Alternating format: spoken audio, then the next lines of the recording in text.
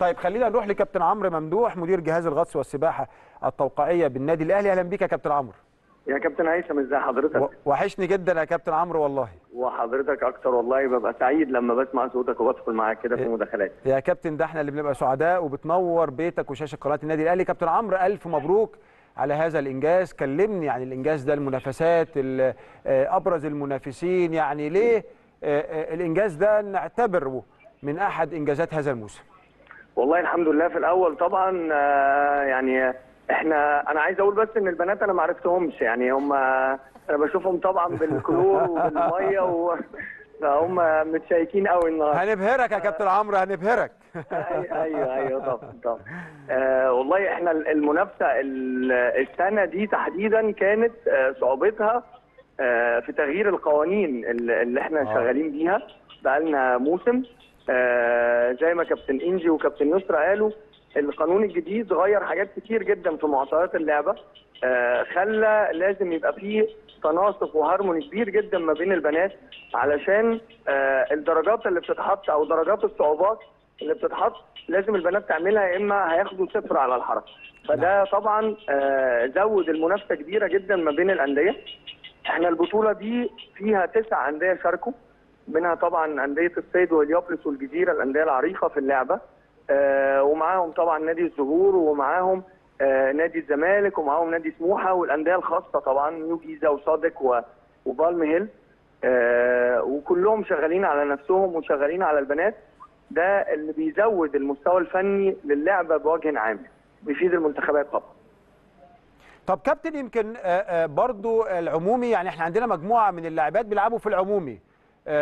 وكانوا بيلعبوا عمومي من فترة يعني.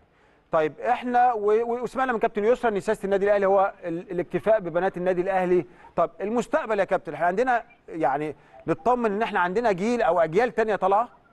والله بص يا كابتن هيثم البنات اللي كانوا مع حضرتك والبنات اللي موجودين دول بنات جدعان جدا. البنات دي بتقعد بتتمرن في كل الظروف اللي حضرتك تتخيلها. ما حر برد مطر آه، يعني آه، بيقعدوا في المية يعني آه، أنا باجي وبروح وهم لسه قاعدين في المية. بيقعدوا يعني ساعات كبيرة جدا في المية بيبذلوا مجهود كبير جدا. بيبذلوا مجهود بدني عندهم تمرين مدرب فتنس عندهم مدرب جمباز أرضي علشان الحركات.